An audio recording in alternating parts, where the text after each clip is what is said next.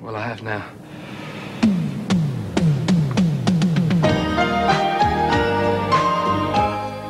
You can read about Albert Square and its famous inhabitants in the Eastenders Handbook, now available.